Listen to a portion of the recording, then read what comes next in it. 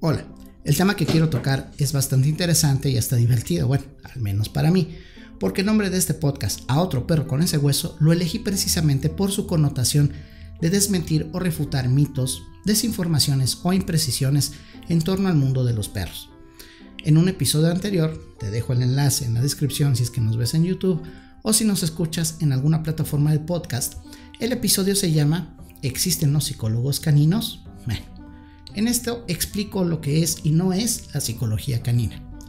En el mismo sentido, pero con otro concepto que he visto circular en redes sociales, quiero hablarte hoy, y del cual hasta encontré un sitio que vende cursos al respecto, la filosofía canina o filosofía de perro para ser feliz. A otro perro con ese hueso.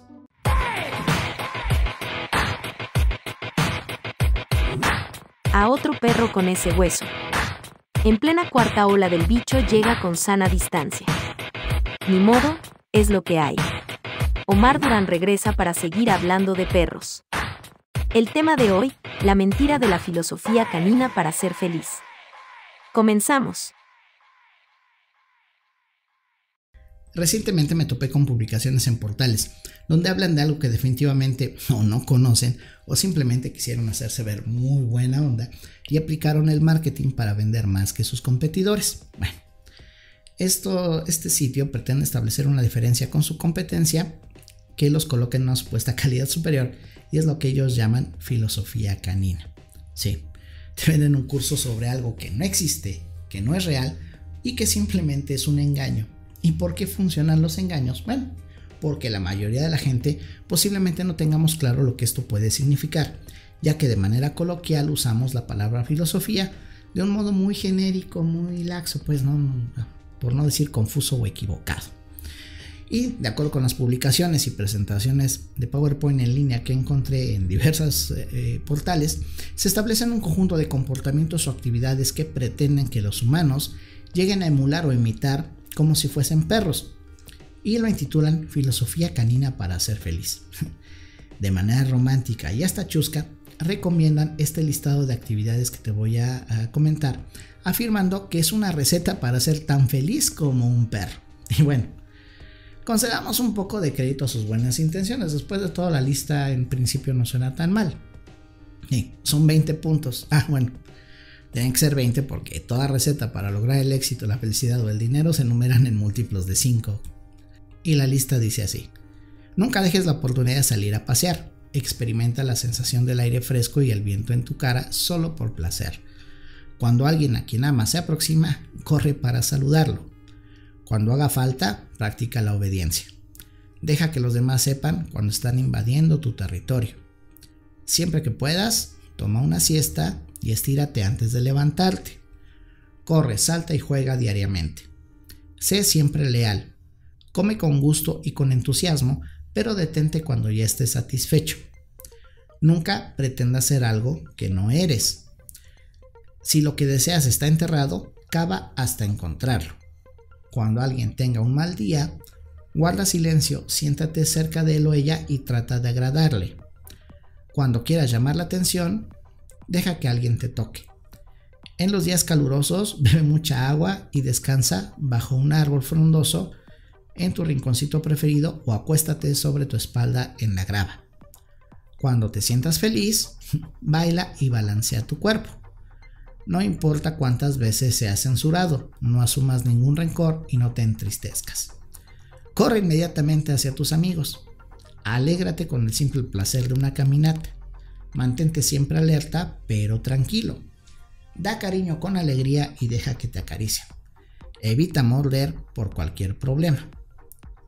Y después de estos puntos, se enumeran algunas otras cosas para evaluar qué tan perro eres. Por ejemplo, si puedes empezar el día sin café, si puedes ser alegre, ignorar dolores y reumas, si puedes resistirte a quejarte y aburrir a otros con tus problemas, si puedes comer la misma comida todos los días y estar agradecido y contento por ello, si puedes entender cuando aquellos a los que quieres están ocupados y no te dedican tiempo, si puedes pasar por alto que la gente la agarre contra ti cuando algo va mal y no es tu culpa, si puedes recibir críticas o la culpa de algo sin resentimiento, Entonces, probablemente has de ser un perro, porque pues sí, está cañón aguantar tantas cosas. De este tamaño, fíjense. En el primer listado, bueno, pues las cosas son divertidas, infantiles, digamos, que están dando por hecho que la vida del perro es en automático divertida y feliz. Pero de manera contraria, el segundo listado enumera y encierra conceptos de una vida incluso miserable e indigna de dolor y dan por hecho que eso está bien para el perro. No entiendo qué cosa quieren decir. En otro portal que se dedica a elaborar o publicar tareas para que otros usuarios las copien y peguen como suyas, repiten estos listados y van un paso más allá. Afirman que la filosofía canina no es una comparación, es una verdad. Lo importante de cada día es vivirlo con intensidad y con plenitud. Se debe vivir el momento. Lo fácil o lo difícil son menos límites que nos ponemos nosotros mismos. Todo un compendio de pensamiento mágico. Así pues, enfatizan que la vida interior es la raíz de nuestra vida exterior, o sea que no importan las condiciones económicas, sociales o las condiciones materiales y estructurales en las que vives. Y de nuevo, se repite el listado que ya leí, con la diferencia que previo al listado mencionado, te plantean las preguntas. ¿Sabes actuar con filosofía, con sabiduría canina? ¿Ya te imaginaste actuando con sabiduría canina? Inténtalo.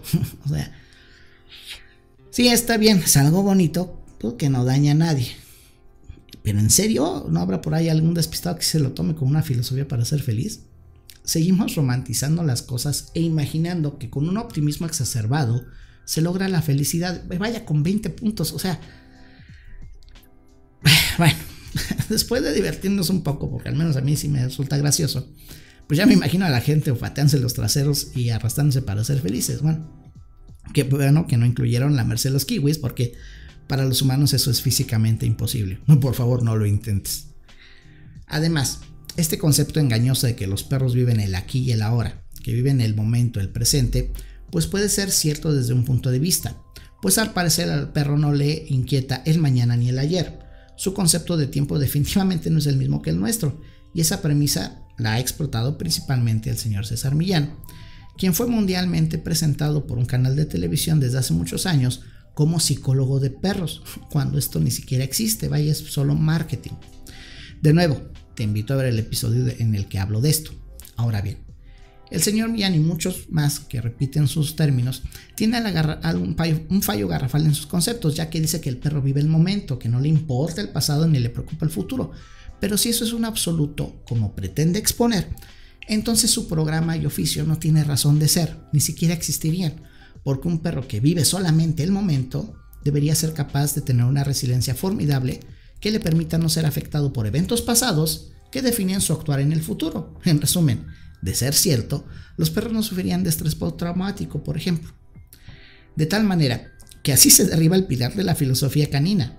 Ahora, si bien los perros y los demás animales no humanos tienen algo en común que nos diferencia de ellos, es precisamente la capacidad intelectual el análisis complejo, la capacidad de haber desarrollado el lenguaje, principalmente esto, que es así como generamos cultura. Podemos entonces transmitir no solo información genética a nuestra descendencia, sino conocimiento a través del lenguaje hablado y escrito. Y toda esta civilización que hemos desarrollado, nuestros conceptos de tiempo, espacio, escalas y valores morales, religión, política, etc., surgen a partir de la filosofía, los animales no humanos y los perros en este caso, desde luego que tienen procesos cognitivos y emocionales. Ellos piensan y sienten. No me voy a cansar de afirmarlo porque está científicamente comprobado. Pero en tanto los animales no humanos no desarrollen esas capacidades de crear cultura, las diferencias serán muchas.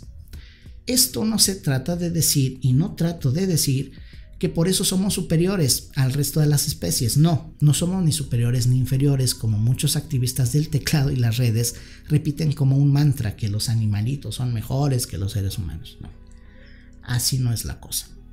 Sino, o esto pasa porque estamos acostumbrados a creer nuestras propias mentiras y sentirnos libre pensadores sin ningún sustento cultural más que reflexiones baratas y simplonas o que las repetimos porque las escuchamos de alguien más porque se oyen bonito y entonces pensamos que la filosofía pues, es algo que o no sirve para nada o prostituimos el concepto.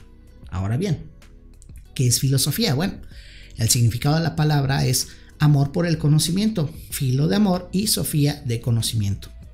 O sabiduría también. Así que si conoces a una mujer llamada Sofía, ya sabes lo que su nombre significa. Un concepto más concreto de la filosofía es conjunto de reflexiones sobre la esencia, propiedades, causas y efectos de las cosas naturales, especialmente sobre el hombre y el universo. Sin embargo, de manera coloquial, el grueso de la población asume la filosofía como algo aburrido, complicado e incluso para otros es algo así como recetas de cocina para lograr la felicidad o simplemente reglas para regir su vida. Y bueno, así es como hay muchos libros, artículos y gurús que te dan 5, 10, 15, 20 consejos o 20 puntos para lograr la felicidad, el éxito o el dinero inmediato. Bullshit. Ok. En cierto sentido puede sonar lógico y por eso nos gusta o por eso le gusta a la gente. Comúnmente se utiliza el concepto de filosofía de vida y esto es una expresión que se refiere a los principios, valores e ideas que rigen el estilo de vida de una persona o de un grupo y orientan su comportamiento en busca de la autorrealización. Y así, bueno, también como ya lo dije, muchos gurús o pseudo exitosos eh, engañan a la gente y sistemáticamente repiten cosas como la filosofía de vida es de vive y deja vivir o prohibido prohibir. Frases que parecen inteligentes y llenas de sabiduría, pero pues bueno, son refranes, dichos, sabiduría popular. Todas estas frases en un sentido simple para muchos suena correcto y muchos incluso pueden resumir o decir que resumen su filosofía de vida basados en amor o en preceptos y valores religiosos. Pero también hay quien dicen cosas tan absurdas como que el fútbol es toda una filosofía de vida. No, eso ya no es solo un exceso, sino un absurdo. No se puede aplicar el concepto de filosofía de vida a cualquier cosa así nada más, de una manera banal o estúpida. No. No existe una filosofía canina. Puede y debe haber una filosofía para trabajar con animales, eso sí. En este caso, con perros debe haber un entendimiento de nosotros los humanos sobre filosofía para poder establecer y regular nuestras relaciones con otros seres humanos, con otras especies y nuestro hábitat en general. Pero no puede haber una filosofía canina porque el perro no la genera, no tiene la capacidad y aparte no tiene mayor problema existencial más que adaptarse a la vida para sobrevivir.